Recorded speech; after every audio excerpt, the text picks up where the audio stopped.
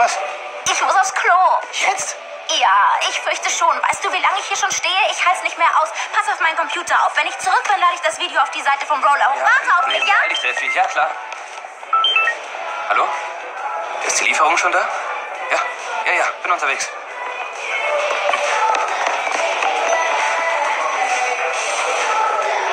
Komm, hey, das ist unsere Chance. Geh zur Tür und pass auf, dass keiner kommt, okay? Beeil dich. Ja.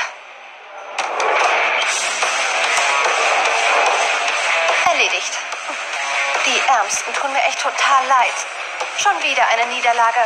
Wie üblich. Weg hier.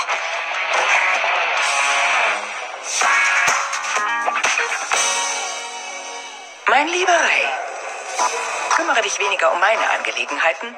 Konzentriere dich mehr auf deine Arbeit. Sind das die besagten Dokumente? Dazu kommen wir gleich. Vorher müssen wir reden. Worüber? Ist was passiert?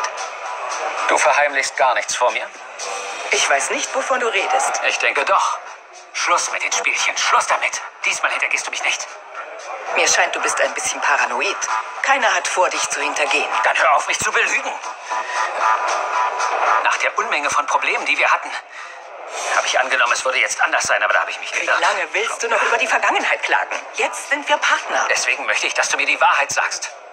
Glaubst du, ich habe dir das mit der Reise abgekauft? Dass wir Partner sind, bedeutet nicht, dass ich dir Erklärungen schulde für das, was ich tue oder lasse. Du verheimlichst mir also nichts? Wieso geht das nicht in deinen Kopf rein?